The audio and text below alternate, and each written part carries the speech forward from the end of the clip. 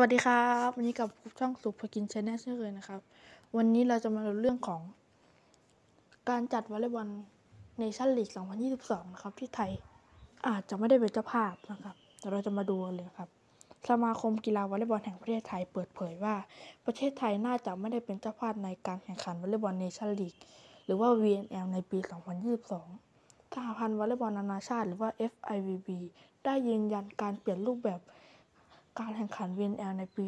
2022 จะแบ่งการแข่งขันออกเป็น 2 กลุ่ม กลุ่มละ 8 ทีม แต่ละทีมจะแข่งขันทีมละ 12 นัดในรอบแรก จากนั้นทั้ง 3 สัปดาห์และทีมอันดับ1-4ของแต่ละกลุ่มจะผ่านเข้ารอบสุดท้ายหรือรอบ final ที่จะเล่นกันแบบน็อกเอาท์ในสัปดาห์ที่ 4 ทั้งนี้การแข่งขัน VNL ที่จากเดิมจะต้องเดินทางไปแข่งขัน 5 ประเทศในรอบแบ่งกลุ่ม จะลดจำนวนมา เหลือเพียง2ถึง3ประเทศเท่านั้นเพื่อลดการเดินทางจากสถานการณ์ของโควิด -19 โดยยังต้องรอยืนยัน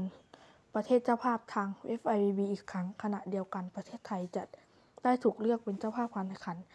รายการนี้อยู่ต่อเนื่องหลายปีที่ผ่านมา แต่ปีนี้ไทยถูกองค์กรต่อต้าน การใช้สารต้องห้ามโลกหรือว่าวาด้าลงโทษแบนทำให้ตอนนี้ยังไม่ได้รับการติดต่อ เข้ามาจาก เข้ามาในการเป็นเจ้าภาพมีโอกาสสูงที่จะไม่ได้เป็นเจ้าภาพ นี่ครับก็เป็นเรื่องของกฎวาด้าแบนนะครับ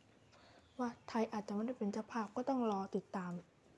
ดูกันต่อไปนะครับสำหรับวันนี้ก็มีข่าวอัปเดตเพียงเท่านี้ ถ้ามีอะไรอีกก็จะมาอัปเดตให้ฟังอยู่นะครับสำหรับวันนี้ต้องขอตัวลาไปก่อน สวัสดีครับ